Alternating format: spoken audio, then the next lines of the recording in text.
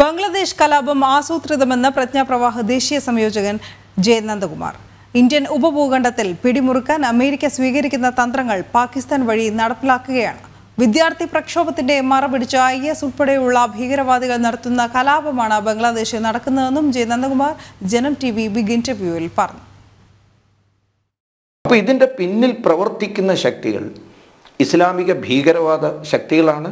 അതിന്റെ അതിനെല്ലാ വിധത്തിലുള്ള സഹായവും ചെയ്തു കൊടുക്കുന്ന പാകിസ്ഥാൻ. പാകിസ്ഥാനെ കൊണ്ട് ഇത് ചെയ്യിപ്പിക്കുന്നതിന്റെ പിന്നിൽ ആഗോള പോലീസിന്റെ വലിയ പങ്കുണ്ട് എന്നതാണ് വസ്തുത. അവർക്ക് വലിയ താല്പര്യമുണ്ട്. ഇപ്പം ഞാനിത് അമേരിക്കയ്ക്കെതിരായിട്ടുള്ളൊരു ആരോപണം വെറുതെ ഉന്നയിക്കുന്നതല്ല.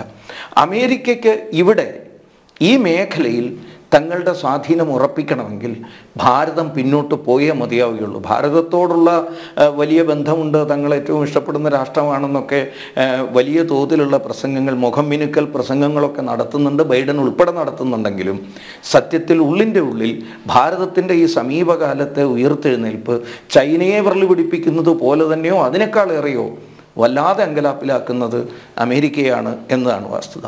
അങ്ങനെ നോക്കുമ്പോൾ അമേരിക്കയുടെ പിണിയാളായ പാകിസ്ഥാൻ പാകിസ്ഥാന്റെ ആരാചാരന്മാരായിട്ടുള്ള ഐ എസ് ഐ ആ ഐ എസ് ഐയുടെ കയ്യിലേക്ക് ബംഗ്ലാദേശ് പോവുകയാണ് ചെയ്തത്. ഇത് വളരെ ആസൂത്രിതമായി നടന്ന ഒന്നാണ്.